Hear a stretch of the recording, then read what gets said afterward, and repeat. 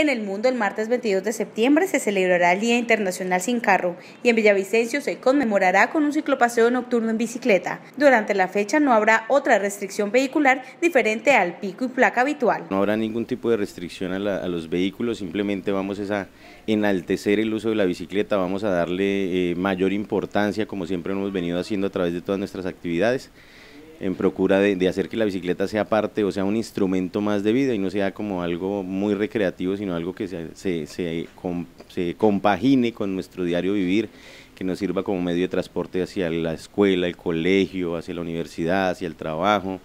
Eh, y aparte pues nos permite la actividad física que tanto necesitamos. A las 7 de la noche la caravana partirá desde el Parque Los Libertadores, bajará por la carrera 33 y al llegar a la avenida 40 recorrerán la Alameda hasta el Parque Los Fundadores. Ya saben, este martes 22 de septiembre, pico placa habitual para 5 y 6. Los demás vehículos podrán circular normalmente.